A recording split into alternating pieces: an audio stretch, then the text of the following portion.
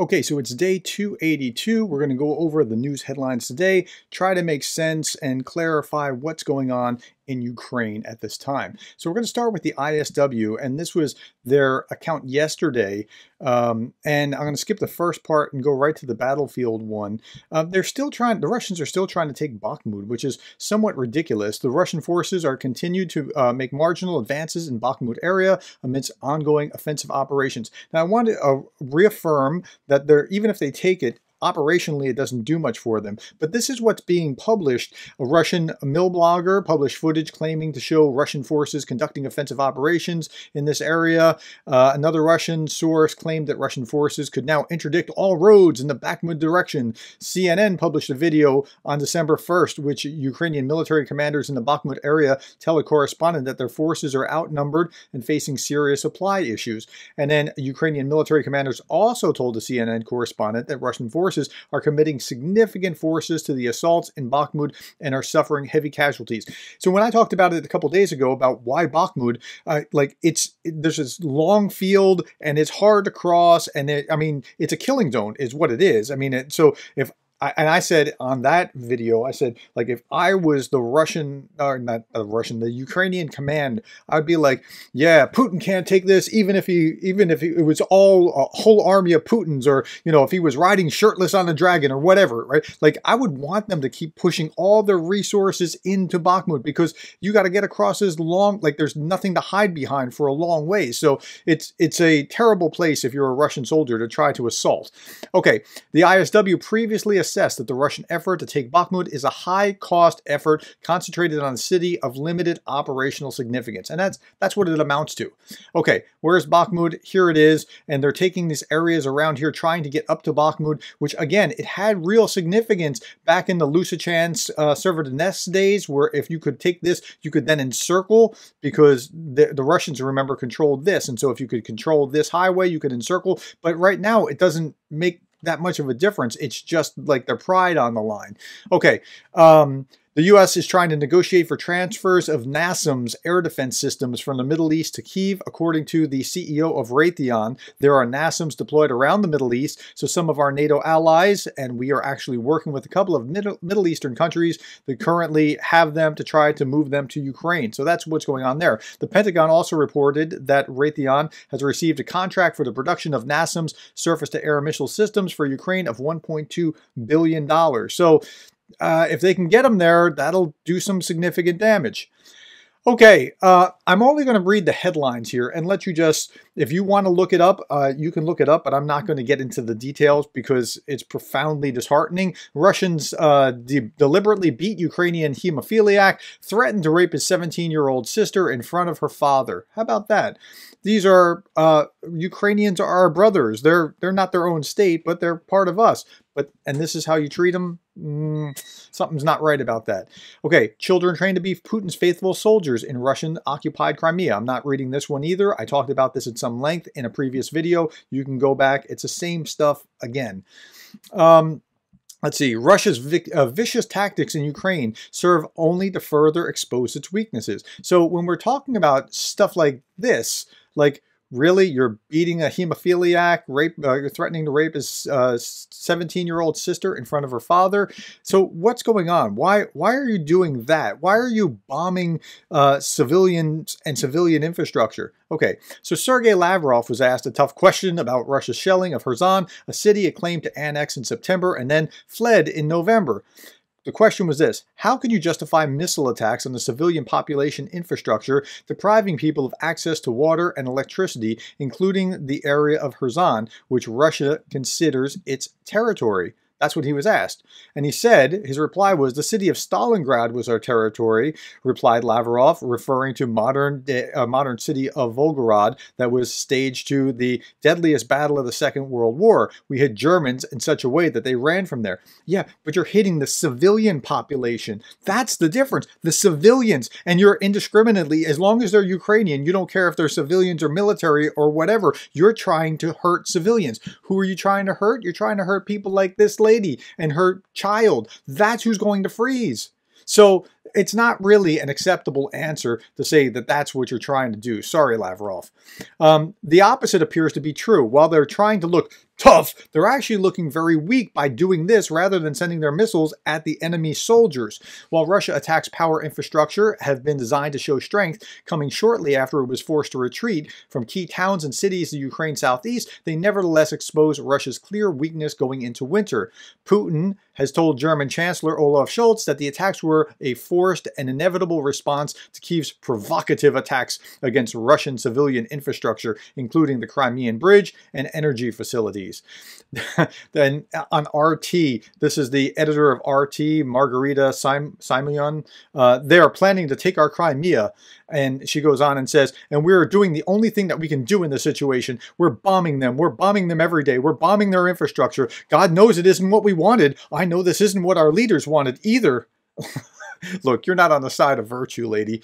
Um, the FSB. So what happened? What happened is they invaded in a foolhardy effort. They thought they would take this the the country in a matter of weeks and when they got sucked into this vortex they can't let go because they you know uh, we don't want to look like we're beat but they can't hold on and so this is where they are in fact the fsb security service never bothered to engage in contingency planning nor envisage any outcome other than its own success hmm so that's why they're bombing because they can't figure out how to do anything else because they can't beat the military on the ground and that's what's actually happening. So she and her baby are going to suffer because of some planners' incompetence in Russia. Okay, uh, this was interesting. I, I don't know what to make of it. Up to 13,000 Ukrainian soldiers killed since Russian invasion, says Kiev. Okay, um, 13,000 sounds remarkably low, but there's potentially some reasons for it, and let's try to unpack it. 13,000 Ukrainian soldiers have been killed since Russia invaded February, uh, according to Kiev's presidential advisor Mikhailo Podolyak. Ukraine has been tight-lipped about the number of military dead and wounded, citing its worries that a revealing would give Russia military advantage. In August, uh, uh, said 9,000 people have died. Okay, let's just say that 13,000 is the number. So what we're going to do is we're going to look at 13,000 times 3, that's the casualty multiple, plus 13,000, and that brings us to 52,000, which is roughly half of what the U.S. estimates are. Now, they have ground truth. Whether they're telling the whole truth about it, that's a different story. And maybe they're for the sake of, you know, not freaking people out saying it, or maybe they're telling the truth. I just, I don't know. But here's what I do know. That's awfully low compared to what they're saying the Russians are but there is something else going on at the same time. Now, that that number, 281 days times about 50 day uh, 50 casualties a day, which let's say that that seems reasonable. It was upwards of 100 or 200 um, killed a day I mean, upwards of 100 or 200 uh, per day in uh, the height of the worst fighting, right? So, but there are also pauses. So let's say 50. That would be about 14,000 and that's not too far from the 13,000, but that's assuming only 50 a day or less than 50 a day. Um, so there's that. But now there's one other factor that's that uh, is, should be involved here, and that is the three to one rule. So the three to, three to one rule of combat states that in order for the attacker to win a battle, his forces should be at least three times the force of the defender. But it doesn't extend to casualties necessarily that easily. It does. It's not a one to one kind of thing. So here's an academic article about assessing the uh, conventional balance, and it says the three to one rule applies to just one aspect of the campaign, namely breakthrough in battles in which the attacker attempts to pierce the defender's forward defenses. Okay, so we get that. That doesn't mean that there's three casualties uh, for the attacker to every one defender. That's that's not what it means. But if but there is probably, because of a defensive position, an advantage casualty-wise um, between attacker and defender. But if Ukraine is claiming 80 some odd thousand killed, 85,000 or so killed, and they're claiming only 13,000 killed on Ukraine side, that something's doesn't seem to to match. And I, I don't know what it is but i don't know how to so if you know something more about this i'm more than happy to hear and feed into my understanding. Build some dendrites in my head. Let me let me understand. Put put something into the scaffolding that helps me understand it more. I'm just reporting what they say in the news and it just seems imbalanced from what I can detect. There might be some reason for it. I think one of the reason for it is that you, when Ukraine is counting killed, they're also counting anybody who has fought against uh, Ukraine, not just Russia. And this could be, you know, these. Uh, militants, uh, militia pressed into service that have no training that you know just go very quickly. Uh, that could be part of it. I don't know. You tell me. Okay, let's keep moving on. Ukraine, the, the surrender hotline. I absolutely love how clever Ukraine has been in uh, just being so innovative throughout the war. So now they have a surrender hotline for Russian soldiers. I, the I Want to Live project was started in September. Uh, key, officials in Kiev said they've had more than 3,500 contacts from invading personnel as well as their family. Right? You you get there and you realize, uh, as a Russian soldier, oh, this isn't what I thought it was told it was. How do I you know, I don't want to die. Um, how do I sur survive this? Maybe I should surrender because I, I don't really, I'm not really wanting to fight here anyway. Uh, so they get up to 100 inquiries a day. And so, yeah, that's a very smart way of, and if you can get them to somehow give themselves up somehow, that's far better to take them off the battlefield that way um, than by the other way. Okay, Russia's using the Caspian Sea to launch strikes against Ukraine, so they're using Russian territory, Belarusian territory, the Black Sea, but they're also using the Caspian. And so remember, they have a navy here. So let me zone out a little bit. So Ukraine is up here, here's the Black Sea, and here's how you get, the, the Caspian is essentially landlocked, I mean, for all intents and purposes. I mean, you can get out through a river or something maybe, but that that's, it's pretty well landlocked. And they have ships in there because they're, and they, there's other countries here like uh, Azerbaijan and Turkmenistan and Iran. And so they're also, but all these other countries are aren't Georgia. They're not saying anything about like you shouldn't be doing that from our neighborhood.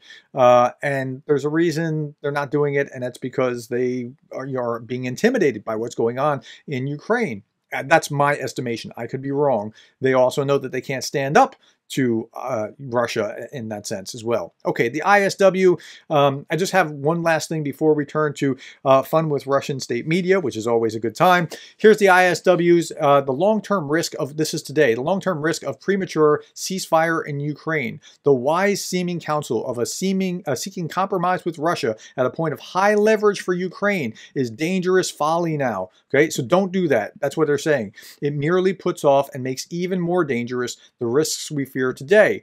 The path forward should be clear. The West must prioritize reducing Russia's ability to renew a war that the Kremlin is more likely to win and that would carry the same escalation risk as the current war. So you already have the escalation risk. It's here. Next time it's going to be here or maybe even further as Russia goes home, licks its wounds, regroups, builds more weapons, and comes back if you have a peace that is not a unconditional surrender kind of peace in Ukraine, where they can actually get their kids back who have been stolen and uh, deported into Russia, and they can provide reparations for the things that they've damaged. And you, you just need to, this will be won on the battlefield, not at the peace table. Okay, let's have some fun with Russian state media. So here we go with the first article.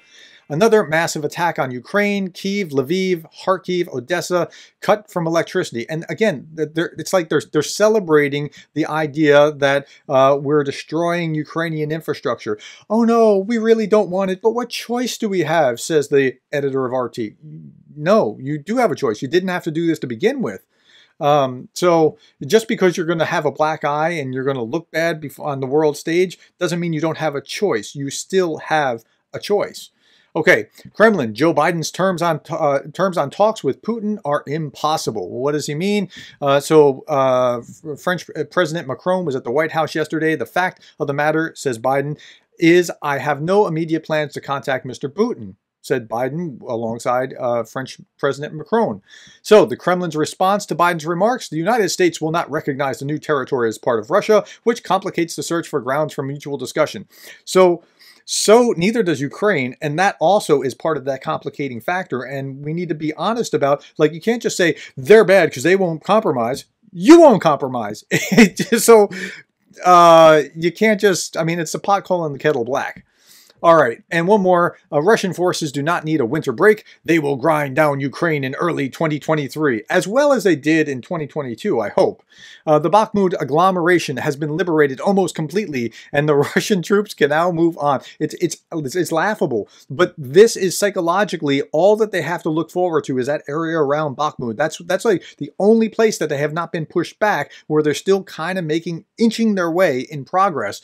And yeah, that's that's what they're reading in, in Russian state media. So, I mean, if you're, and I, I read this daily, right? So, uh, Pravda, RT, TASS, but Pravda and RT tend to be the nuttier ones by far. It's it's all Russian state media, but these just seem to be a little bit more extreme. Okay, last thing, and this is just an image I want to leave with you. This is Russia, uh, not Russian, Ukrainian special forces operators uh, training, and it's not so much for the training; it's for look at the conditions that they're in all the troops are in this condition.